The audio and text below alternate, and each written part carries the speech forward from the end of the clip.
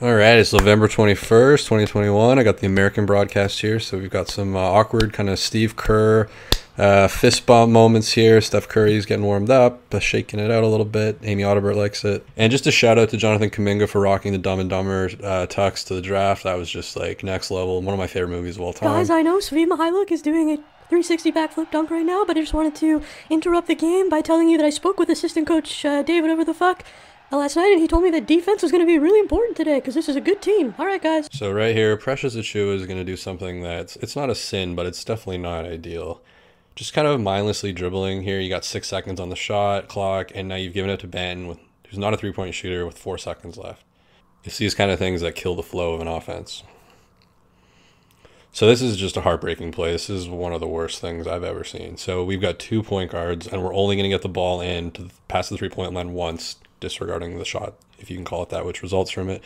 So we've got Banton here, um, and we've got no off ball movement from Precious or Svi. They're both standing there, kind of just waiting and watching. I don't really know what they're doing. Um, Damion Lee is kind of going back and forth. Svi has his hands up, and Lee kind of adjusts. So that's not really a great pass to make. There's nowhere to really go. So Banton's going to throw it into Boucher, who has a height advantage here, and so you you typically want Boucher. Now, 10 seconds left on the clock, 9 seconds left. He's going to go back out to Flynn, who's now just kind of just, again, Precious and Svi just kind of standing there. Ban does make himself open. Flynn doesn't really see, but it's not a great pass anyways. Just nothing happening. I don't know why Flynn's retreating at this point. You got 5 seconds left on the clock.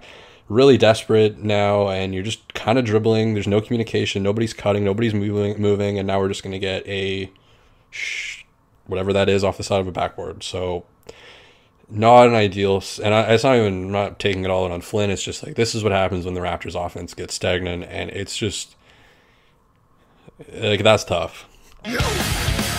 And now we're gonna get the Chris Boucher combo meal, which is a overly aggressive closeout and a turnover. So here we're gonna see Chris is under the basket, and now he's just like a fucking tackle. Just goes right through. Just you just gotta pump Boucher, and he's in the upper deck. And now we're gonna go down the floor, and we're gonna get point guard Boucher here for a moment. I don't know how many times I've seen that this year, but it feels like more than once. Raptors were kind of clawing back at this point, but ultimately, this is what the Warriors did to uh, the Raptors. we already got to Texas.